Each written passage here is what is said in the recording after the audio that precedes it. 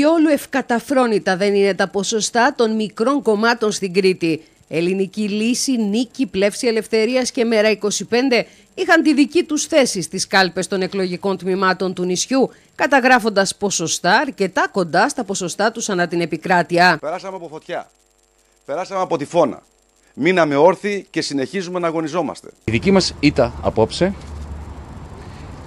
θα μπει στο μικροσκόπιο της αυστηρής αυτοκριτικής μας. Η ελληνική λύση του Κυριάκου Βελόπουλου συγκέντρωσε στην επικράτεια ποσοστό 4,45%, όντας το πέμπτο κόμμα που μπαίνει στη Βουλή, εκλέγοντας μάλιστα 16 βουλευτές και αυξάνοντας το ποσοστό της κατά περίπου μία μονάδα σε σχέση με τις εκλογές του 2019.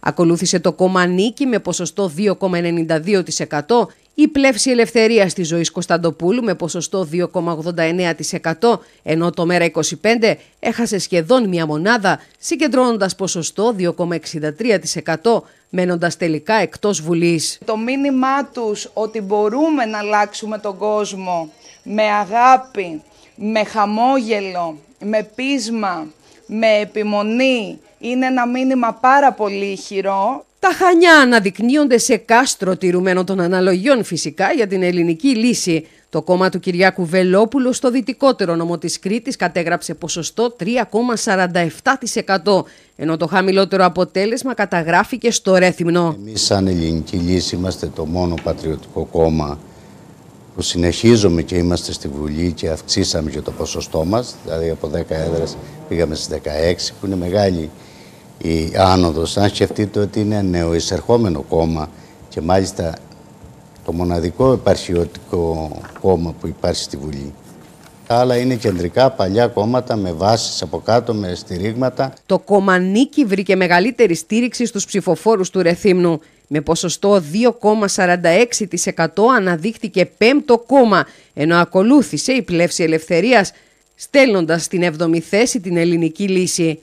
Το χειρότερο αποτέλεσμα στο νησί του κόμματος του Δημήτρη Νατσιού καταγράφεται στο Ηράκλειο. Στέκομαι στην ε, επικυριαρχία του μεσαίου χώρου, του κέντρου από την ε, Νέα Δημοκρατία ε, και θα σας έλεγα και στη συντηρητικοποίηση της, του εκλογικού σώματος. Και αυτό φάνηκε και από τους νέους που προσήλθαν. Τα Χανιά λένε ναι στην πλεύση ελευθερίας, δίνοντας στο κόμμα της ζωής Κωνσταντοπούλου ποσοστό εισόδου στη Βουλή.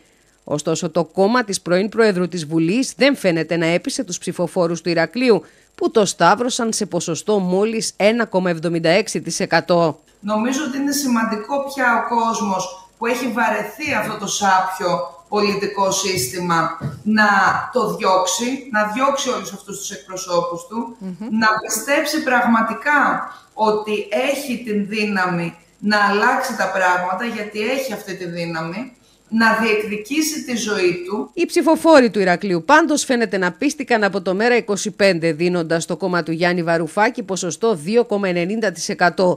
Ωστόσο, το καλύτερο αποτέλεσμα για το κόμμα του πρώην Υπουργού Οικονομίας στο νησί καταγράφηκε στα Χανιά με το ποσοστό να διαμορφώνεται στο 3,28%.